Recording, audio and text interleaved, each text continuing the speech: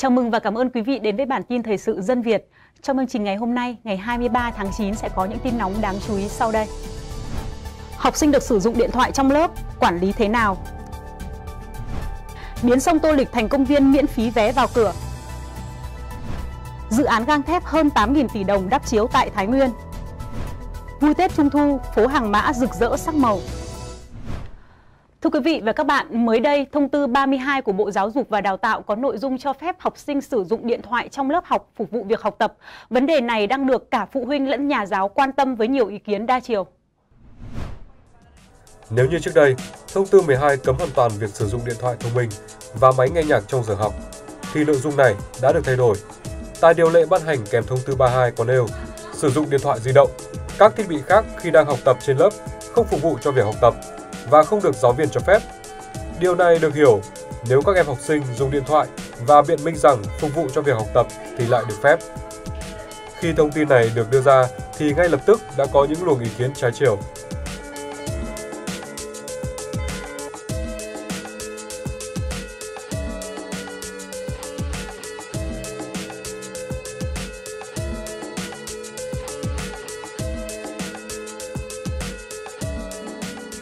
Thực tế cho thấy, hiện nay không chỉ có Việt Nam và nhiều quốc gia trên thế giới cũng đã từng xảy ra tranh cãi về vấn đề này như Thái Lan, Singapore, mà ngay cả với các nước phương Tây như Pháp, vấn đề này còn có phần phức tạp hơn khi một trong những lý do cấm học sinh dùng điện thoại là để hạn chế nạn bắt nạt trên mạng. Tại Việt Nam, hiện nay nhiều trường học đã thử nghiệm việc cho học sinh sử dụng điện thoại trong giờ học để học sinh sử dụng những tính năng của điện thoại thông minh vào việc thực hiện yêu cầu học tập, tìm kiếm tài liệu tham khảo ngay trong thời gian diễn ra giờ học và cũng đã thu lại những hiệu quả nhất định. Theo em thấy về việc sử dụng điện thoại trong giờ học thì nó cũng giúp cho mình, kiểu, tiện lợi trong việc tìm kiếm về vấn đề về đề tài học hiện tại. Ví dụ như em thấy tiếng Anh thì có những nhiều từ mình không biết mình có thể ờ, vào Google dịch để dịch ờ, những cái từ đấy nhưng không biết đọc thì dịch để đọc để mình hiểu về cái ờ, từ tiếng Anh đấy. Em thấy việc sử dụng điện thoại trong học là tốt giúp chúng ta học hành một cách nhanh hơn dễ dàng hơn. Mỗi một cái vấn đề gì ờ, khi triển khai thì nó cũng đem lại hai mặt, hai mặt tích cực và mặt tiêu cực. Và những cái điểm lợi khi mà ta sử dụng đúng cách của nó thì sẽ đem lại hiệu quả rất nhiều lớn cho các bạn học sinh. À, ví dụ như là trong giờ học các con có thể uh, ví dụ đối với môn tiếng Anh chẳng hạn thì khi đó các con có thể trực tiếp uh, tra từ điển luôn mà không cần phải uh, hỏi han thầy cô hay là thậm chí những cái bộ môn khác các con có thể chủ động để uh, tìm được cái những cái thông tin cái gì cũng có hai mặt của nó. Thì mặt trái đây thì cũng không thể uh, là không có vì cũng có thể nhiều bạn học sinh sẽ sử dụng điện thoại trong giờ học với uh, mục đích như là nhắn tin hay là chơi game. Nhưng mà tôi nghĩ là mình nghĩ là đối với cái sự quản lý của giáo viên uh, mà chặt chẽ và tốt ấy, thì uh, sẽ không thành vấn đề gì không thể phủ nhận lợi ích từ việc cho học sinh sử dụng điện thoại trong giờ học, giúp các em có những tiết học sinh động và thú vị hơn, kích thích khả năng tìm tòi và học hỏi của các em. Thế nhưng, cũng không thể không kể đến những mặt trái của việc này. Đặc biệt, việc giao trách nhiệm cho giáo viên phải quản lý việc học sinh sử dụng điện thoại trong giờ học, dù vào mục đích học tập thì đây cũng là một nhiệm vụ khó khả thi. Bởi một giáo viên liệu có thể kiểm soát cùng một lúc 50 đến 60 học sinh trong một lớp đang làm gì với chiếc điện thoại thông minh, có thể mở ra cả thế giới trong tay mình hay không? Phần tiếp theo của bản tin, chúng tôi xin mời quý vị và các bạn gặp gỡ một nhân vật rất thú vị ở Thái Bình với một việc làm khá kỳ lạ. Ông nuôi ốc nhồi dày đặc trong một con thuyền bỏ hoang giữa sông Hồng và sống một cuộc sống tách biệt với trên bờ. Đó là lý do chúng tôi gọi người đàn ông U60 này là chàng Robinson Thái Bình. Ông Phạm Văn Thư ở thôn Tương Đông, xã Hồng Phong, huyện Vũ Thư, tỉnh Thái Bình đã có một quyết định liều lĩnh, đó là rời bỏ cuộc sống trồng trọt chăn nuôi bình thường như bao nông dân khác trên bờ để xuống sông Hồng ở ẩn. Hàng ngày dập dành trên chiếc thuyền bỏ hoang cùng đàn ốc nhồi đặc sản. Thuyền trước là đi làm cát nhé, xong là bây giờ tận dụng để chiếc thuyền này không làm cát nữa, tận dụng nuôi ốc. Mà nuôi ốc thì thay nước của nó là nguồn nước là ở sông Hồng. Là thay hàng ờ, cách ngày thay một ngày, nó tùy theo nếu không không nuôi được mà cái nguồn thức ăn của nó thì lại là cũng nhựa trên nào tức là hoa quả chỉ chủ yếu là hoa quả cần nhiều hơn ngày ngày ăn ngủ cùng đàn ốc nhồi nên hệ con ốc nào bị làm sao là ông biết ngay Nhờ vậy mà đàn ốc nhồi dưới sự chăm sóc của ông lớn nhanh, con nào con đấy cũng béo ú, vỏ máu đẹp. Thấy con ốc nhồi dễ nuôi, cho thu nhập khá cao nên ông Thư quyết tâm mở rộng nuôi hết cả diện tích chiếc thuyền bỏ hoang. Tính đến thời điểm hiện tại, ông Thư đang có đàn ốc lên đến hai vạn con ốc thương phẩm, trong đó có rất nhiều ốc đang sinh sản. Vào mùa ốc nhồi sinh sản, ngày nào ông cũng thu nhặt trứng đem đi ấp. Trung bình mỗi tháng, ông cung cấp ra thị trường hơn 30.000 con ốc nhồi giống. Giá ốc nhồi giống từ 500 đến 700 đồng trên một con. Nhờ bán ốc nhồi giống mà tháng nào ông cũng có thu nhập hơn 15 triệu đồng. Từ việc nuôi ốc nhồi, ông Thư có thêm một nguồn thu nhập không hề nhỏ, giúp gia đình có cuộc sống khấm khá hơn. Nhiều người khen ông Thư có cách làm giàu độc nhất tỉnh Thái Bình. Việc ông làm giàu như câu chuyện chàng Robinson, nuôi ốc nhồi ở giữa sông Hồng. Thưa quý vị, như quý vị đã biết, được triển khai từ năm 2007, dự án mở rộng nhà máy gang thép Thái Nguyên giai đoạn 2, được gọi là TISCO 2, có tổng mức đầu tư ban đầu là hơn 3.800 tỷ đồng và dự toán điều chỉnh được phê duyệt hơn 8.000 tỷ đồng. Tuy nhiên, đến nay dự án còn giang dở với nhiều hạng mục đang bị xuống cấp. Được khởi công tháng 9 năm 2007 và kỳ vọng sẽ giúp khởi sắc cho ngành gang thép.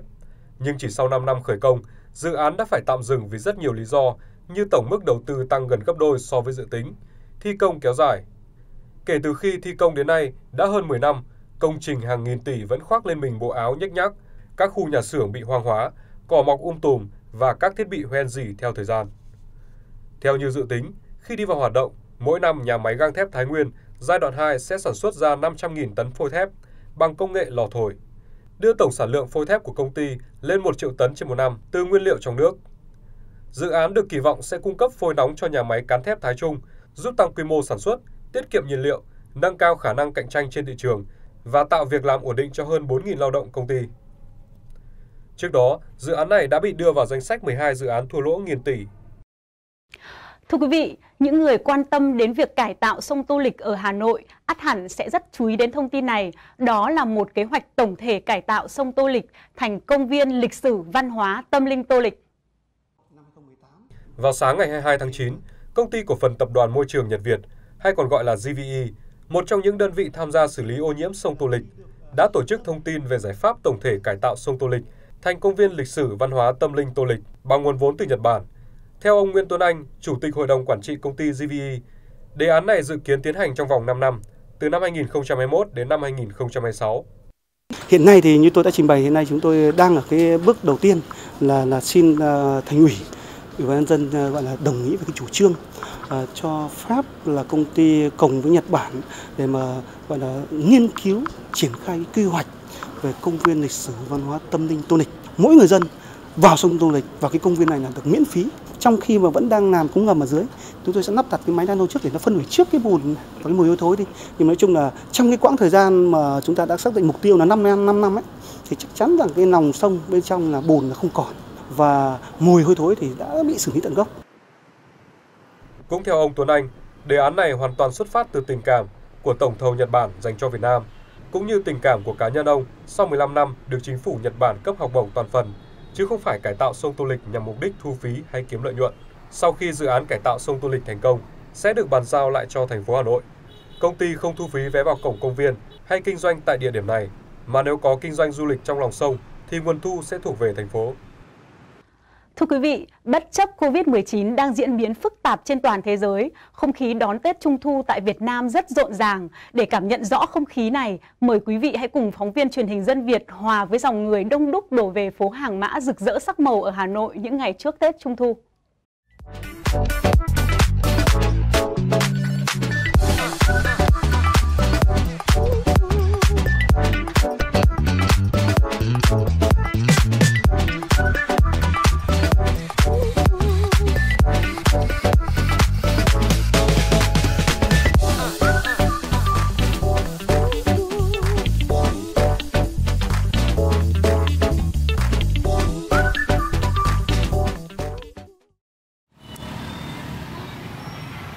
Chỉ còn hơn 10 ngày nữa là đến Tết Trung Thu.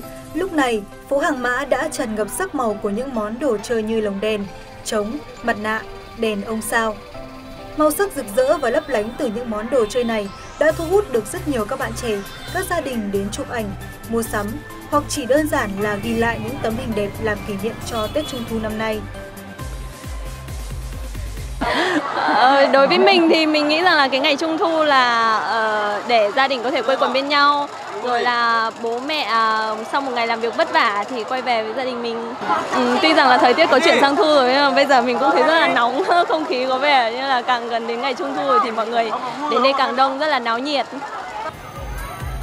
Mặc dù Trung thu năm nay diễn ra trong thời điểm dịch Covid-19 đang diễn biến phức tạp, tuy nhiên, với nỗ lực từ chính phủ đến người dân, Trung thu năm nay vẫn đến trong sự hân hoan, mong đợi của mỗi người trong dịp này, được vui chơi, quây quần bên người thân, gia đình và bạn bè.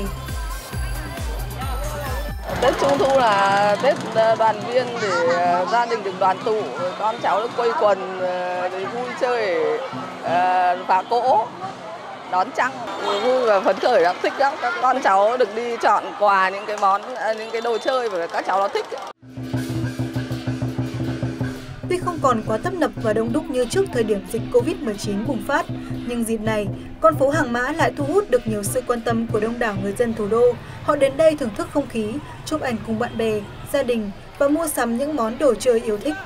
Mỗi người khi hòa mình vào không khí náo nhiệt và rộn ràng như vậy mới cảm nhận thấy hết niềm hạnh phúc của một nhịp sống bình thường trong bối cảnh đại dịch Covid-19 vẫn chưa hoàn toàn được khống chế ở nhiều nơi trên thế giới.